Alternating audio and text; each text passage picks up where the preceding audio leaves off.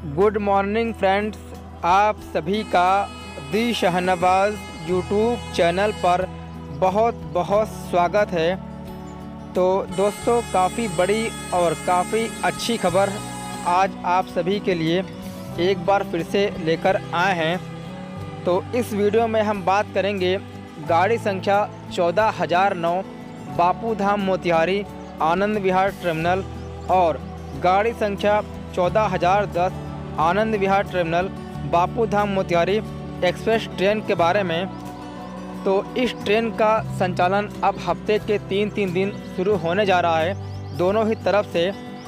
जैसा कि आप लोग जानते हैं, वर्तमान समय में ये एक बाई वीकली ट्रेन है, यानी कि हफ़्ते में दो दिन बापू धाम मोतिहारी से और हफ़्ते में दो दिन आनंद विहार टर्मिनल से इस ट्रेन का संचालन किया जाता है।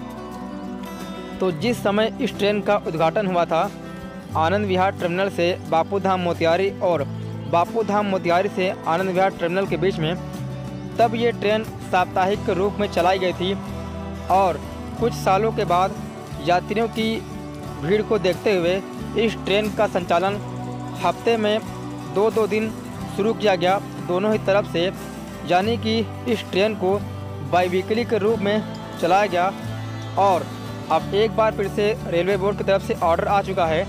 ये ट्रेन ट्राई वीकली के रूप में चलेगी, यानी कि हफ़्ते में तीन दिन बापू धाम मोतिहारी से और हफ़्ते में तीन दिन आनंद विहार टर्मिनल से ये ट्रेन शुरू होने जा रही है।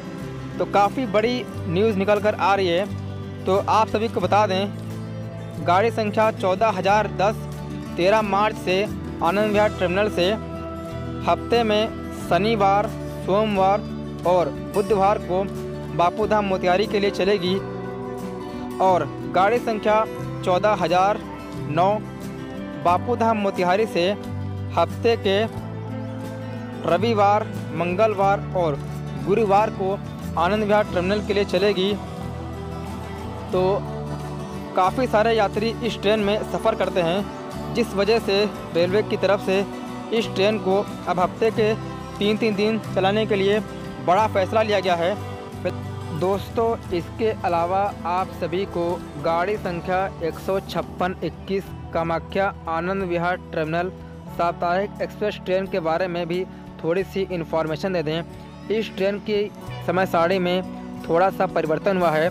14 मार्च से ये ट्रेन आप सभी को गोरखपुर में दो बजकर पचपन मिनट पर मिलेगी, जो कि पहले ये ट्रेन गोरखपुर में आप सभी को रात के दो बजकर तीस मिनट पर मिलती थी।